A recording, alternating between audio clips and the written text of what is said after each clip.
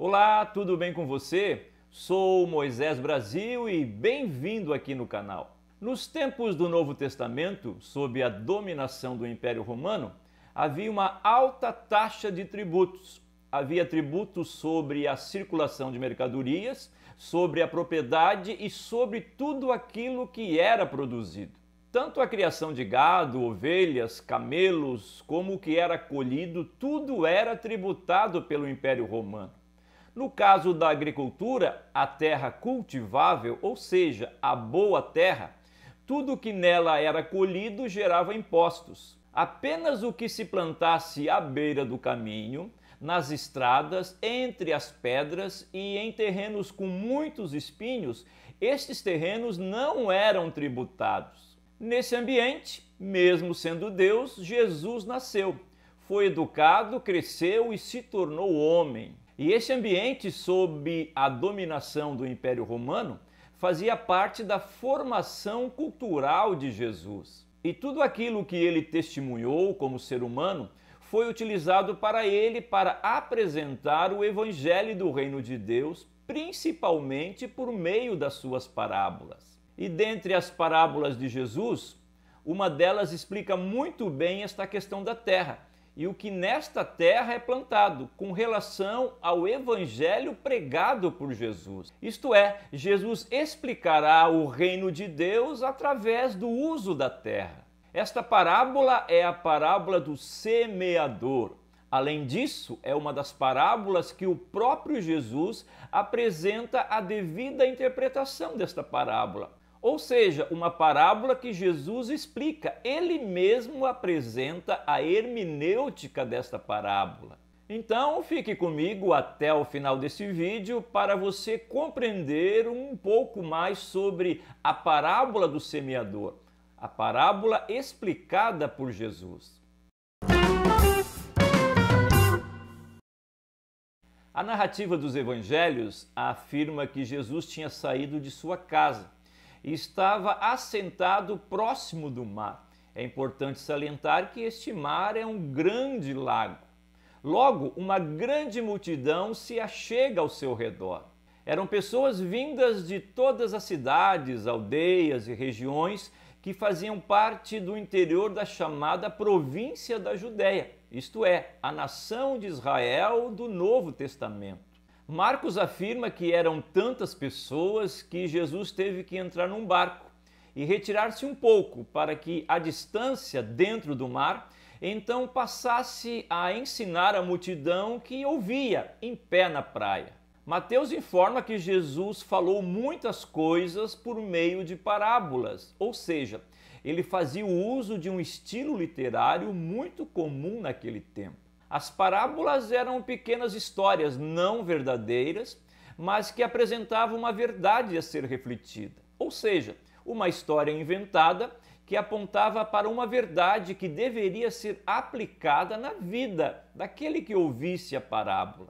As parábolas tanto apontavam para verdades morais, éticas, e como no caso de Jesus, para as coisas espirituais, isto é, verdades eternas. Alguns comentaristas bíblicos afirmam que as parábolas usavam de rimas, um pouco semelhante com as poesias populares muito utilizadas no Nordeste brasileiro. A chamada parábola do semeador está presente nos evangelhos sinóticos, ou seja, nos evangelhos de Mateus, Marcos e Lucas. Ela não é narrada no evangelho de João, conhecido como o quarto evangelho. Nesta parábola, Jesus afirma que um homem saiu a semear a sua semente. E a partir dali, a narrativa afirma onde a semente foi caindo. Jesus fala que parte das sementes caiu na beira do caminho, onde vieram as aves do céu e comeram a semente. Outra parte das sementes caiu no meio das pedras, num local desprovido de terra alguma, somente pedregais. Estas sementes até nasceram, contudo, porque não havia profundidade na terra, veio o calor do sol e, consequentemente, secaram. Outra parte das sementes caiu entre os espinhos, e mesmo que estas sementes tenham germinado, produziram fruto, No entanto, mais tarde os espinhos cresceram também e acabaram sufocando o que havia nascido. Por fim, parte das sementes caiu em boa terra.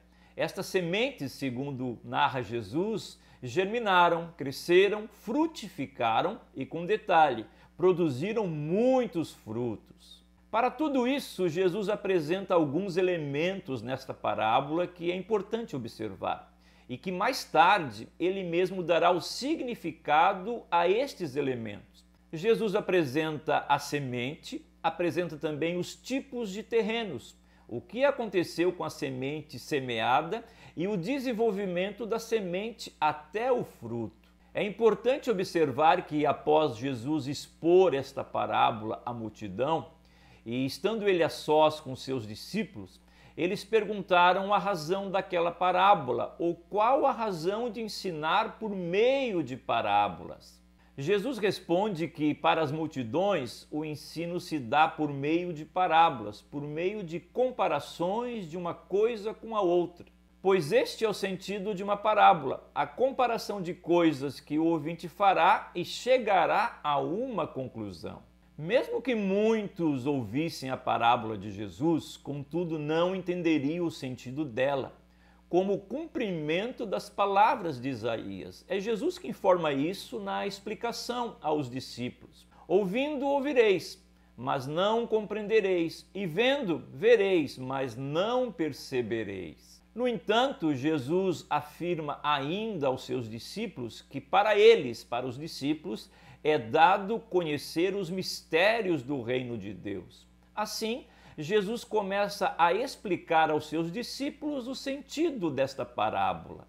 É a interpretação da parábola pelo próprio Jesus, ou seja, Jesus fará a hermenêutica do texto da parábola do semeador.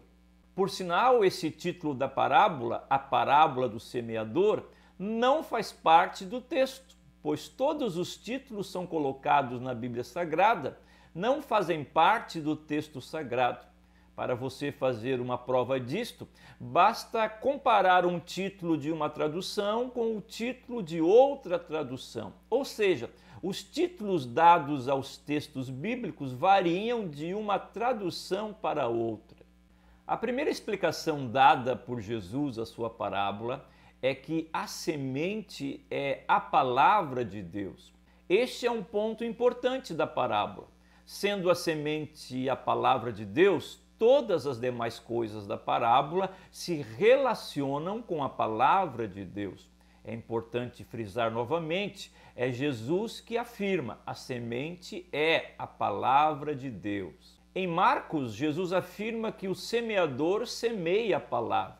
Assim, qualquer outra explicação dada à semente diferente de ser a palavra de Deus contraria a explicação dada por Jesus. Jesus é enfático em afirmar que a semente é a palavra de Deus. O que sai da boca de Deus tem o potencial de produzir frutos. O intento de Deus com a sua própria palavra é que ela mesma venha frutificar na vida do homem. Uma semente é uma árvore em potencial, é uma grande quantidade de frutos que, por sua vez, produzirão novas sementes. Da semente até o fruto é apenas uma questão de tempo, mas a semente traz consigo o potencial de ser uma árvore e produzir centenas de frutos e inúmeras outras sementes. Como já observado, Jesus apresenta quatro tipos de terrenos à beira do caminho, entre os pedregais, entre os espinhos e a boa terra. Cada um desses terrenos irá provocar uma reação à semente colocada nele. Por ser a semente a palavra de Deus, ela é perfeita e completa. Contudo, o que apresenta imperfeição é a falta de alguma coisa que são apresentadas nos três primeiros terrenos. Desta maneira, a reação à palavra de Deus manifesta o tipo de terreno em que a semente foi semeada. Repetindo, o problema não está na semente, o problema se dá na qualidade do terreno. O primeiro terreno onde caiu a semente é a beira do caminho. Embora não fosse um local tributado pelo Império Romano, No entanto, mal as sementes caíam, eram pisadas, e as sementes que não fossem pisadas eram devoradas pelas aves do céu. As sementes eram destruídas, não chegavam a germinar, pois assim que tocassem o chão, ou eram esmagadas ou comidas pelas aves. Jesus explica que esta situação é semelhante com alguém que ouve a palavra de Deus, mas antes que esta palavra entre no coração, como uma ave do céu, vem o diabo e retira a palavra para que não creia. Logo, não crendo, não haverá salvação. É a palavra de Deus que produz fé. É o que Paulo escreve aos crentes de Roma, afirmando que a fé vem pelo ouvir e ouvir pela palavra de Deus. Na beira do caminho, o alcance da palavra de Deus é somente a altura do ouvir, ou seja, semente na superficialidade, não chegando ao centro do ser humano, e por isso as aves do céu tomam com facilidade. Neste caso, a semente não chega a germinar. Ela cai ou é destruída sendo esmagada ou é devorada pelas aves do céu. Pedras e terra fazem parte dos solos do território de Israel.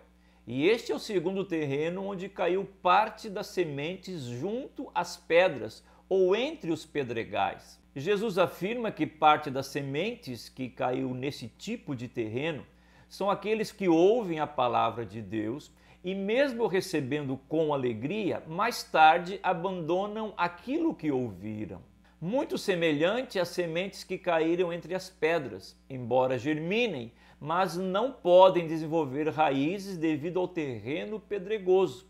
E sem raízes não tem água, e devido ao calor das pedras secam e morrem. Novamente é uma didática no crescimento. Estes ouvem, mas não ficam somente no ouvir, eles acreditam um pouco mais, pois recebem com alegria. Contudo, pela ausência de profundidade, sem raízes, no momento de dificuldade e tentação, se afastam do reino de Deus. O terceiro terreno onde caíram as sementes foi entre os espinhos.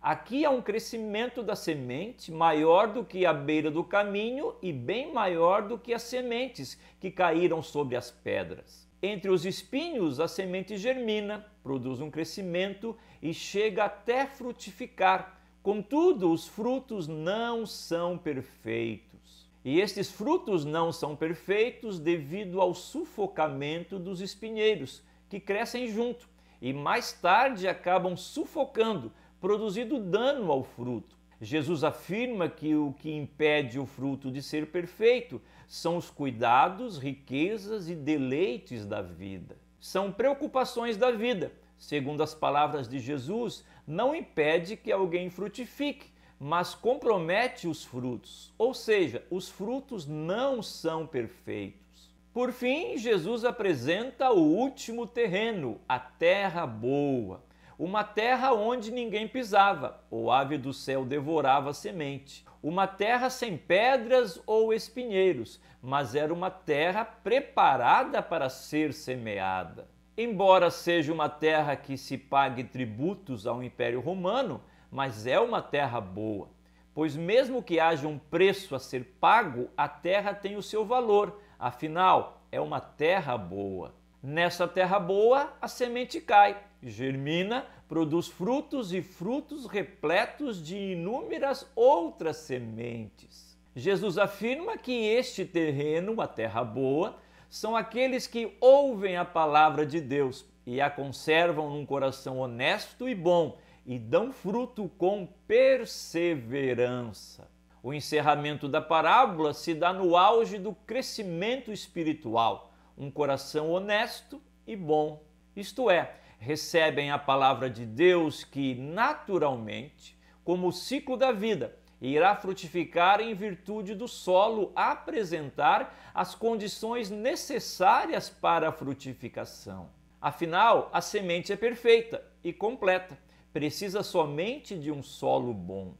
Pois bem, vimos neste vídeo um pouco da parábola do semeador uma parábola explicada por Jesus. Que o nosso coração seja esta boa terra, para que a palavra de Deus seja semeada. O texto completo desse vídeo, prontinho para você baixar e imprimir, já está na área de membros aqui do canal. E se tiver interesse em adquirir algum dos meus livros, acesse www.moisesbrasil.com.br. Um abraço e até um próximo vídeo.